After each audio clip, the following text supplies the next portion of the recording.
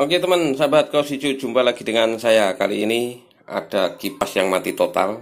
Siapa tahu bisa didandan lagi nih. Oke kita buka-buka saja kipas ini.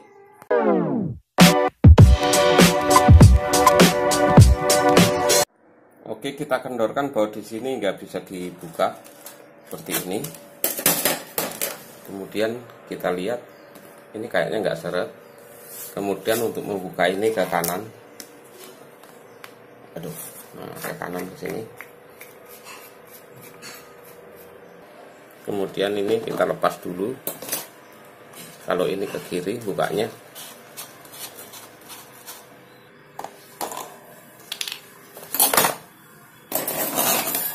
Ya kemudian kita buka ini. Ini kita buka dulu. Hmm. ada obengan di dalam kemudian kita buka ini pengancingnya di sini. Oke hingga terbuka. Kemudian ada baut 4 di depan sini kita lepas dulu bautnya di sini. Ini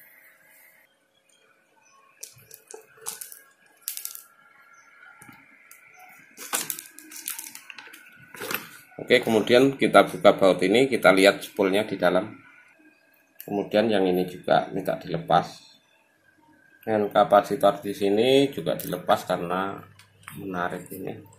Nah, kita tarik ini hingga ini bisa terlepas seperti ini dan kita cari kerusakan di sini teman di bagian ini biasanya ada biusnya Oke teman ternyata untuk biusnya nggak ada teman.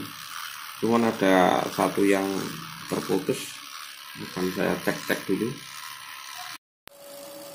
Oke sudah saya sambungkan dan sudah saya pasang-pasangkan. Sekarang kita coba.